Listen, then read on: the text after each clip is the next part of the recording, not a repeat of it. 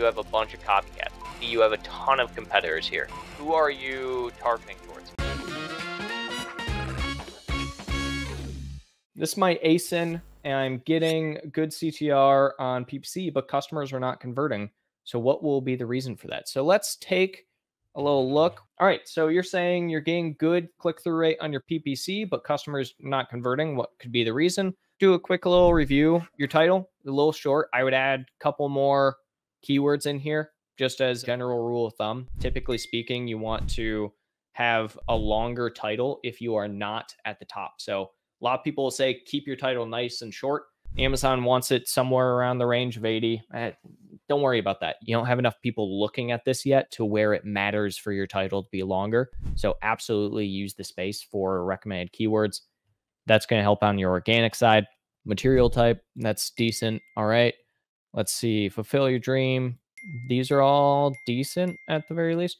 I don't like this. I would absolutely get rid of this. This is technically, yes, within Amazon customer service, but get rid of it just from the aspect of you could get dinged for something like that. Anytime you're talking about refund or anything like that, definitely, definitely, especially if it's on the listing. So I would get rid of that real quick here.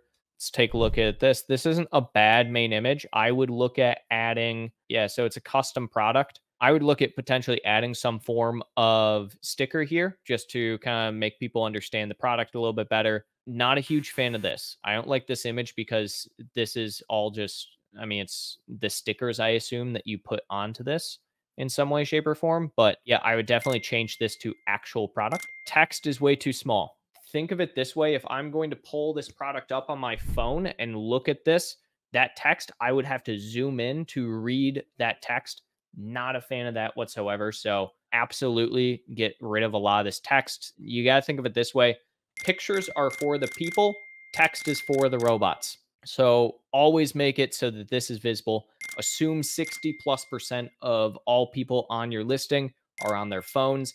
This is going to be super, super small on your phone. I would get this down a lot. This is decent. Again, we have some small text here that I'm not a huge fan of, but this is decent. I would probably add another form of lifestyle photo here somehow. This is all right. It doesn't actually really show a ton here. Others, I'm iffy on it. Your video looks good. Overall, I mean, I would ask this question first and foremost who are you targeting towards? I can also see you have a ton of competitors here right? So we have a ton of custom competitors here. What i would look at doing is do a lot more competitor targeting product page go against pretty much any other type of person you can when it comes to the competitor targeting. This is a really really good these are all ai I would get rid of the AI stuff. It's pretty blatantly obvious. Eh, we're not huge fans, or at least I'm not, of the AI stuff. If I see AI imagery, I usually think the product itself is also going to be a lower tier and lower quality just because, you know, it doesn't seem realistic. This one, all right. Overall, not bad, but again, you have a bunch of copycats, right? You have essentially a bunch of competition. Focus your PPC strategy right now around product page specific targeting to all of those competitors.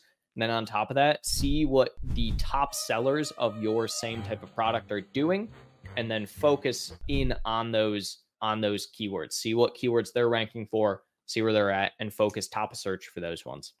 If you have more great questions like this one, let us know in the comments below. We're more than happy to answer them.